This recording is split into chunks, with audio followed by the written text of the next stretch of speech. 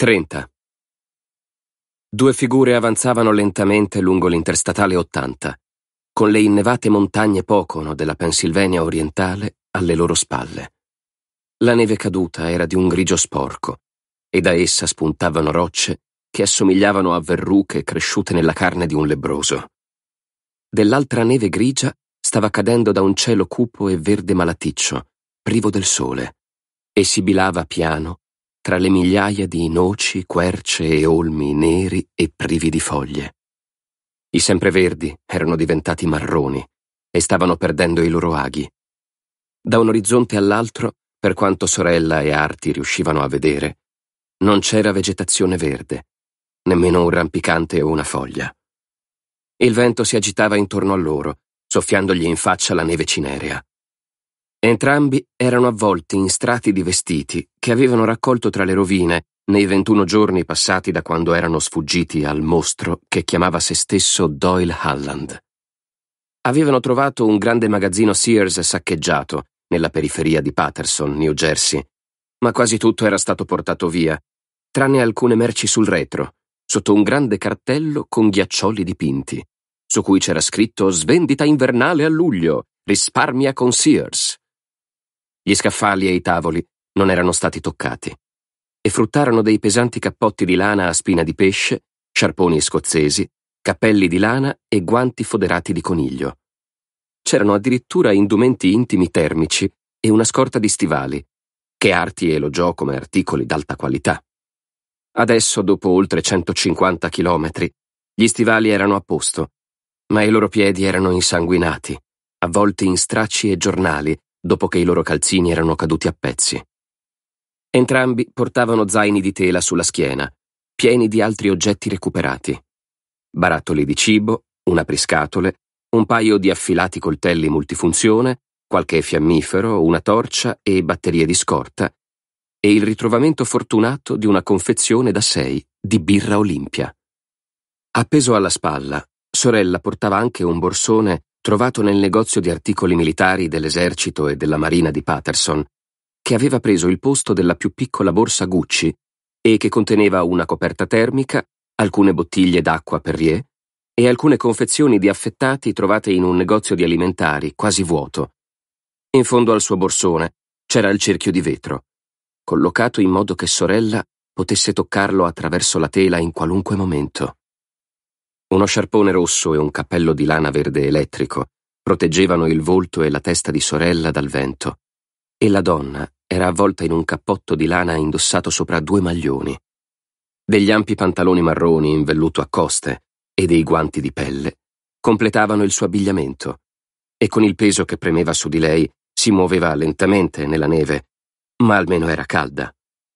Anche Arti era avvolto in un cappotto pesante uno sciarpone blu e due cappelli uno sopra l'altro. Soltanto l'aria intorno ai loro occhi era esposta alla bufera di neve, con la pelle scorticata e bruciata dal vento. La neve, grigia e brutta, vorticava intorno a loro. Il manto dell'interstatale era coperto da uno strato di circa 15 centimetri e lo spessore aumentava ancora di più nella foresta spoglia e nelle profonde crepe su entrambi i lati della strada. Camminando qualche metro davanti ad Arti, sorella sollevò la mano e indicò verso destra. Procedette con fatica verso quattro ammassi scuri che giacevano nella neve e vide i cadaveri congelati di un uomo, una donna e due bambini. Indossavano tutti abiti estivi, magliette e pantaloni leggeri. L'uomo e la donna erano morti tenendosi per mano.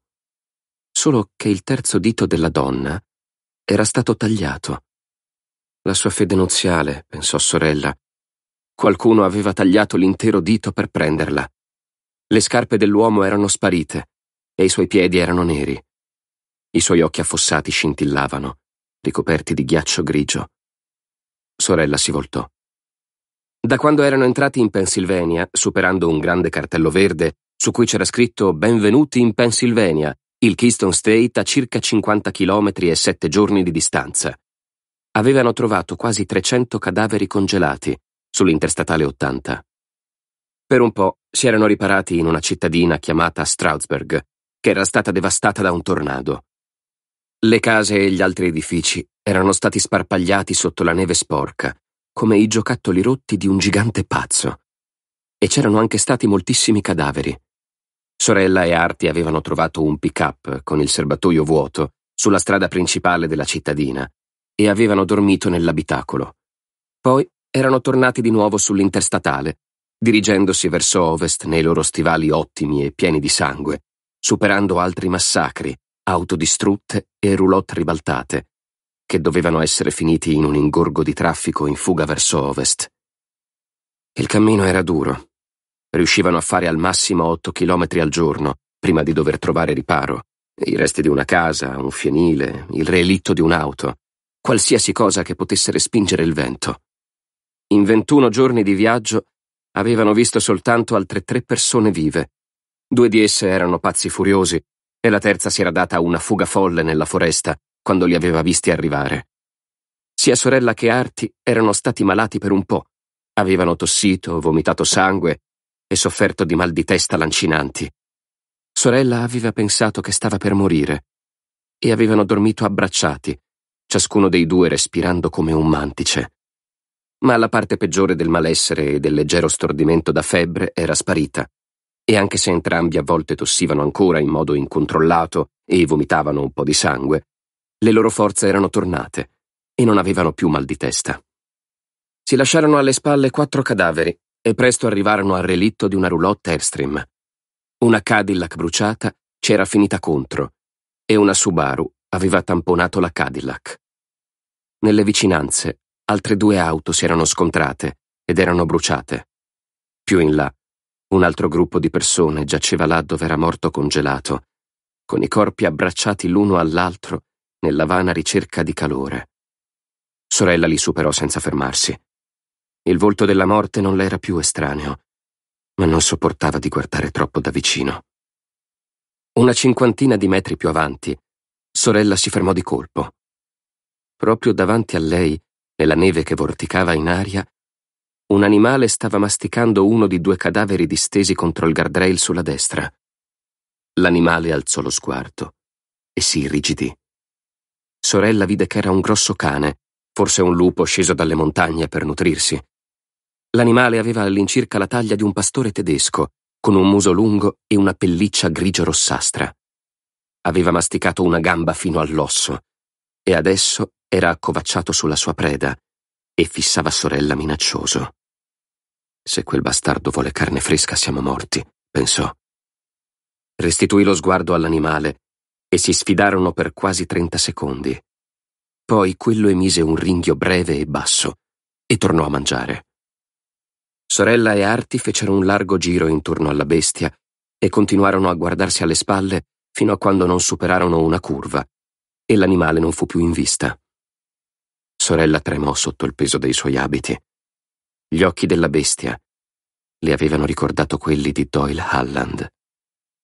La paura che aveva di lui peggiorava quando calava l'oscurità e sembrava non esserci nessuna regolarità nel suo arrivo, nessun crepuscolo o segno che il sole stesse calando.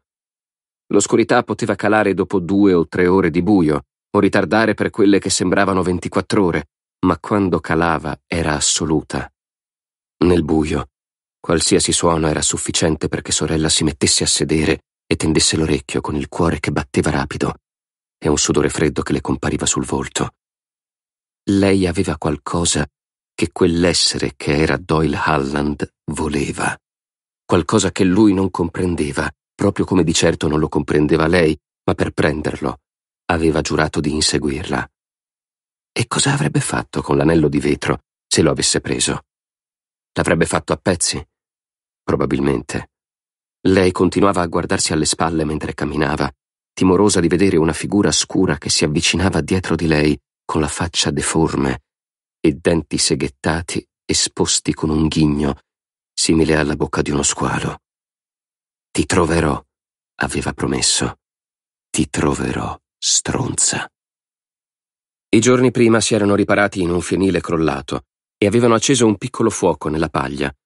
Sorella aveva tirato fuori l'anello di vetro dal suo borsone, aveva pensato alla sua palla 8 che prevedeva il futuro e aveva chiesto mentalmente che cosa ci aspetta. Ovviamente non ci fu nessun piccolo poliedro bianco che emerse per dare risposte generiche, ma i colori dei gioielli e il loro ritmo pulsante e regolare l'avevano calmata. Si era sentita scivolare, incantata dal bagliore dell'anello. E poi sembrò che tutta la sua attenzione, tutta la sua essenza, fosse attratta sempre più in profondità nel vetro, sempre più in profondità, come se entrasse nel cuore vero e proprio del fuoco. E poi aveva di nuovo camminato nel sogno, su quel paesaggio brullo dove c'era la cupola di detriti e la bambola del Cookie Monster giaceva in attesa di un bambino perduto. Ma questa volta era diverso. Questa volta lei stava camminando verso la cupola, con la sensazione che i suoi piedi non toccassero del tutto il terreno, quando si era fermata all'improvviso ed era rimasta in ascolto. Aveva pensato di aver sentito qualcosa nel rumore del vento, un suono attutito che avrebbe potuto essere una voce umana. Aveva ascoltato. Si era sforzata per sentirlo di nuovo, ma non c'era riuscita. Poi aveva visto una piccola buca nel terreno cotto, quasi ai suoi piedi. Mentre stava guardando, immaginò di vedere che la buca stava iniziando ad allargarsi e che il terreno si stava crepando e tendendo intorno a essa. L'istante dopo. Sì, sì, la terra si stava crepando e la buca stava diventando più grande, come se qualcosa stesse spingendo da sotto. Aveva guardato, sia timorosa che affascinata, mentre i lati della buca si sgretolavano, e aveva pensato non sono sola. Dalla buca era uscita una mano umana. Era chiazzata di grigio e bianco, una mano grande, la mano di un gigante. E le grosse dita avevano artigliato verso l'alto, come quelle di un uomo morto che usciva scavando da una tomba. Quella vista l'aveva spaventata così tanto che si era allontanata con un salto dalla buca che si allargava. Aveva avuto paura di vedere che genere di mostro stesse per emergere, e mentre correva sulla pianura vuota Aveva desiderato freneticamente Portami indietro, per favore, voglio tornare dov'ero. E si era ritrovata seduta davanti al piccolo fuoco, nel fienile crollato. Arti l'aveva guardata con aria interrogativa, con la pelle scorticata intorno ai suoi occhi, simile alla maschera del ranger solitario. Gli aveva raccontato quello che aveva visto, e lui le aveva chiesto cosa pensava che significasse. Ovviamente lei non ne aveva idea. Certo, probabilmente si trattava solo di qualcosa venuta fuori dalla sua mente, forse una risposta a tutti i cadaveri che aveva visto sull'autostrada. Sorella aveva rimesso l'anello di vetro nel borsone, ma l'immagine della mano che spuntava dal terreno le si era incisa nella mente. Non riusciva a togliersela dalla testa. Adesso, mentre arrancava nella neve, sorella toccò i contorni dell'anello nel borsone. Il solo sapere che era lì la rassicurava. E quella era tutta la magia di cui aveva bisogno in quel momento. Le sue ginocchia si bloccarono. C'era un altro lupo, cane inselvatichito o qualsiasi cosa fosse, sulla strada davanti a lei, a circa cinque metri di distanza. Era magro, con ferite rosse aperte nella pelliccia. I suoi occhi fissavano quelli della donna e le sue labbra si ritrassero lentamente dalle zanne con un ringhio. Oh, merda! fu la sua prima reazione. Questo sembrava più affamato e disperato dell'altro, e alle sue spalle, nella neve grigia, ce ne erano altri due o tre che si spostavano a destra e a sinistra. Sorella si guardò alle spalle, superando Arti con lo sguardo. C'erano altre due sagome di lupi dietro di loro, mezze nascoste dalla neve, ma abbastanza vicine perché potesse vederne i contorni. La sua seconda reazione fu Siamo carne per hamburger. Qualcosa si mosse sulla sinistra. Un movimento confuso. E si abbatté sul fianco di Arti. Lui urlò di dolore mentre cadeva e l'animale, che pensò sorella avrebbe potuto essere l'animale grigio-rossastro che avevano visto divorare un cadavere, afferrò un lato dello zaino di Arti tra i denti, scuotendo con violenza la testa da un lato all'altro, tentando di strapparglielo dalla schiena. Sorella allungò la mano in basso per afferrare quella tesa di Arti ma l'animale trascinò l'uomo nella neve per tre metri prima di lasciarlo andare e corse via, fermandosi appena al margine della visibilità. Continuò a camminare in cerchio e a leccarsi le fauci. Sorella sentì un ringhio gutturale e si voltò proprio mentre l'animale con le ferite rosse le si avventava contro. le colpì la spalla e la fece rovinare a terra. Le sue zanne si chiusero a pochi centimetri dalla faccia della donna, con il rumore di una tagliola che si chiude. Sorella sentì l'odore di carne marcia nell'alito dell'animale, e poi questo le afferrò la manica destra del cappotto e iniziò a strattonarla. Un'altra bestia fece una finta sulla sinistra e una terza si lanciò avanti audacemente e le afferrò il piede destro, tentando di trascinarla. Lei colpì e urlò. L'animale magro si spaventò e scappò, ma l'altro la trascinò sul fianco attraverso la neve. Sorella strinse il borsone tra le braccia e scalciò con lo stivale sinistro, colpendo l'animale tre volte sul cranio prima che guaisse e la liberasse. Dietro di lei, Arte era attaccato da due animali contemporaneamente, da lati opposti. Uno gli aveva afferrato il polso, con i denti che avevano quasi trovato la carne attraverso il suo cappotto pesante e il maglione, mentre il secondo gli azzannava la spalla sinistra e lo mordeva con una frenetica esplosione di forza. Andate via! Andate via! Stava urlando lui, mentre le belve si strattonavano l'un l'altra, tentando di trascinarlo in direzioni opposte. Sorella tentò di alzarsi, scivolò nella neve e ricadde pesantemente a terra. Il panico la colse come un pugno allo stomaco. Vide Arti trascinato da un animale che gli teneva il polso e si rese conto che stavano cercando di separarli, proprio come avrebbero potuto separare una mandria di cervi o bovini. Mentre tentava di rialzarsi, uno di loro balzò e le afferrò la caviglia, allontanandola di qualche altro metro da Arti. Adesso l'uomo era soltanto una figura che si agitava, circondato dalle sagome degli animali che gli giravano intorno nella turbinante oscurità grigia. Vai via, bastardo! gridò la bestia la strattonò così forte da farle pensare che la sua gamba si fosse staccata dall'articolazione. Con un urlo di rabbia, sorella lo colpì con il borsone sul muso e l'animale fuggì. Ma un secondo dopo, un altro si era messo sopra di lei, tentando di azzannarle la gola. Lei sollevò il braccio e le zanne vi si chiusero sopra con forza brutale. Il lupo cane iniziò a lacerare il tessuto del suo cappotto. Lei lo colpì nelle costole con il pugno sinistro e lo sentì grugnire, ma quello continuò a lacerare il cappotto, raggiungendo il primo maglione. Sorella sapeva che quel figlio di puttana non si sarebbe fermato prima di assaggiare la carne. Lo colpì di nuovo e tentò di divincolarsi, ma adesso qualcosa le aveva afferrato di nuovo la caviglia e la stava trascinando in un'altra direzione. Sorella vide la folle immagine mentale di una caramella gommosa tirata fino al punto di spezzarsi. Sentì un colpo secco e pensò che questa volta la sua gamba si fosse spezzata. Ma l'animale che le stava azzannando la spalla guaì e saltò, fuggendo all'impazzata nella neve. Si udì un secondo colpo, subito seguito da un terzo. Il lupo cane che le azzannava la caviglia tremò e rantolò. E sorella vide del sangue schizzare da un buco nel suo fianco.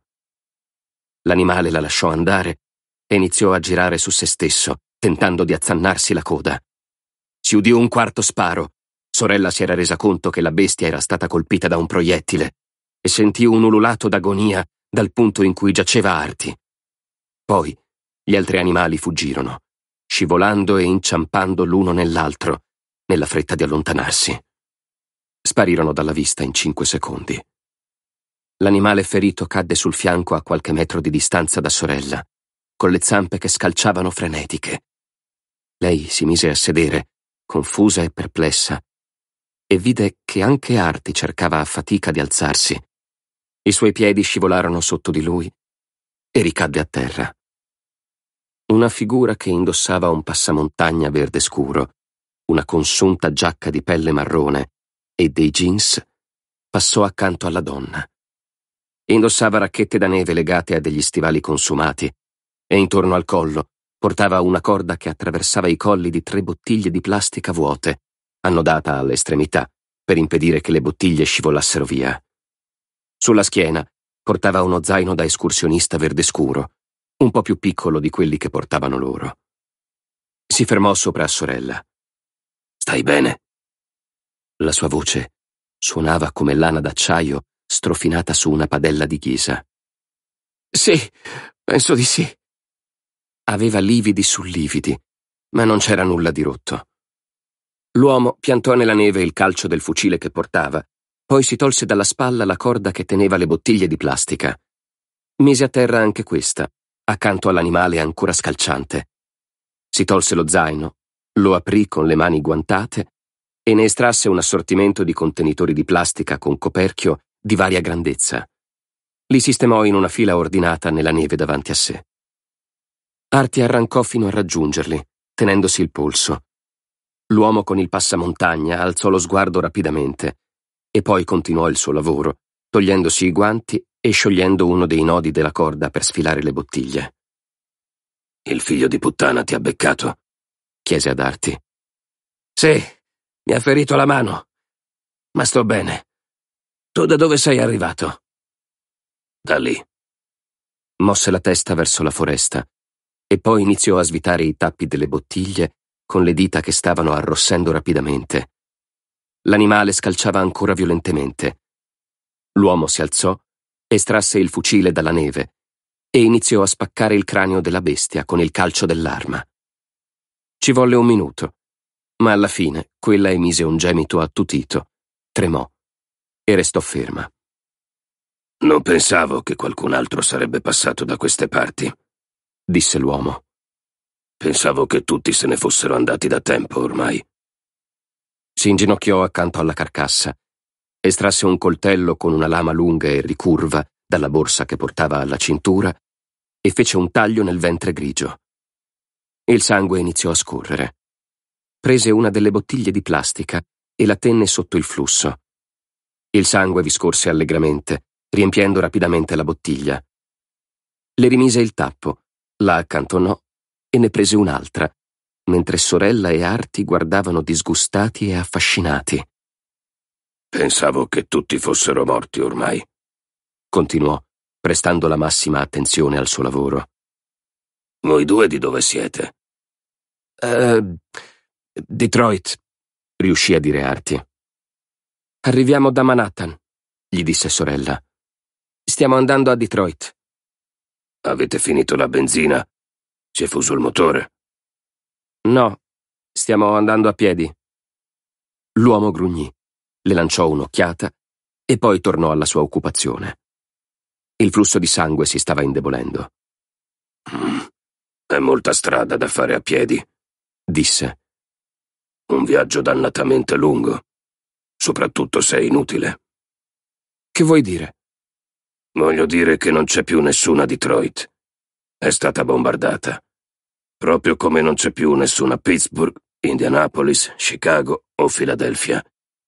Mi sorprenderebbe se fosse rimasta anche una sola città. A questo punto, credo che le radiazioni abbiano colpito anche i piccoli borghi. Il flusso di sangue si era quasi fermato. Richiuse la seconda bottiglia, piena circa fino a metà, e poi fece un taglio più lungo nella pancia dell'animale. Infilò le mani nude nella ferita fumante, fino ai polsi. E questo non lo sai, disse Arti. Non puoi saperlo. Invece lo so, rispose l'uomo, ma senza aggiungere altro. Signora, disse, puoi iniziare ad aprirmi quei contenitori di plastica? Lei fece come chiese e lui iniziò a estrarre manciate di interiora insanguinate e fumanti. Le tagliò a pezzi e iniziò a riempire i contenitori. Ho beccato anche l'altro bastardo? chiese ad Arti. Cosa? L'altro a cui ho sparato. Credo che ricorderai che ti stava masticando il braccio. Ah, eh, giusto, sì. Arti guardò le interiora infilate in contenitori di plastica dai colori vivaci. Eh, No, voglio dire, penso che tu l'abbia colpito, ma mi ha lasciato andare ed è fuggito. Possono essere delle vere carogne, disse l'altro uomo, e iniziò a staccare la testa dell'animale dal collo. Apri quel contenitore grande, signora, le disse. Infilò la mano nella testa tagliata e il cervello cadde con un tonfo nel contenitore grande. Puoi rimettere i coperchi adesso, disse. Sorella lo fece, sul punto di soffocare per l'odore di rame del sangue.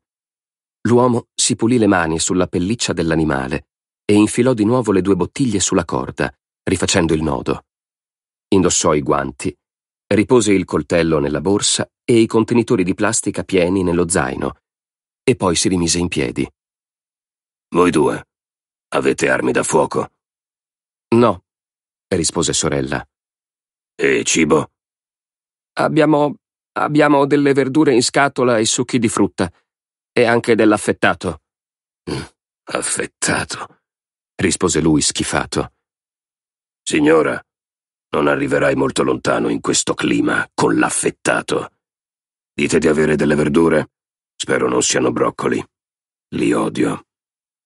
No, abbiamo del gran turco, fagiolini e patate. Mi sembrano gli ingredienti per uno stufato.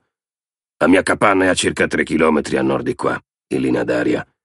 Se volete venire con me siete i benvenuti. Altrimenti vi auguro un buon viaggio fino a Detroit. Qual è la città più vicina? chiese sorella. St. John's, immagino. La cittadina più vicina è Hazelton e si trova a circa 16 chilometri a sud di St. John's. Potrebbe esserci ancora qualcuno, ma dopo l'arrivo di quella marea di fuggitivi arrivati da est, sarei sorpreso se trovaste granché in una qualsiasi città lungo l'interstatale 80. St. John's è a 7 o 8 chilometri a est. L'uomo guardò Arti, che stava gocciolando sangue sulla neve. Amico, quella attirerà ogni mangiatore di carogne a distanza di odore. E credimi, alcuni di quei bastardi sentono l'odore del sangue da molto, molto lontano. Dovremmo andare con lui, disse Arti a sorella. Potrei dissanguarmi. Ne dubito, ribatté l'uomo. Non con un graffio come quello. Si congelerà in fretta, ma ti resterà l'odore del sangue sui vestiti. Come ho detto, Scenderanno dalle montagne con coltelli e forchette tra i denti. Ma fate quello che volete. Io me ne vado. Si mise lo zaino sulle spalle, si gettò la corda sulla spalla e raccolse il fucile. Fate attenzione, disse, e iniziò ad attraversare l'autostrada trascinando i piedi, in direzione della foresta. A sorella servirono all'incirca altri due secondi per prendere una decisione. Aspetta un attimo! Lui si fermò. D'accordo. Verremo con te, signor. Ma lui si stava muovendo di nuovo, dirigendosi verso il bordo della foresta fitta. Non avevano altra scelta che affrettarsi a seguirlo. Arti si guardò alle spalle, con il terrore che altri predatori in agguato si avvicinassero. Le sue costole dolevano dove l'animale lo aveva colpito, e le sue gambe sembravano corti blocchi di gomma morbida. Lui e sorella Entrarono nella foresta dietro alla sagoma dell'uomo con il passamontagna e si lasciarono alle spalle l'autostrada della morte.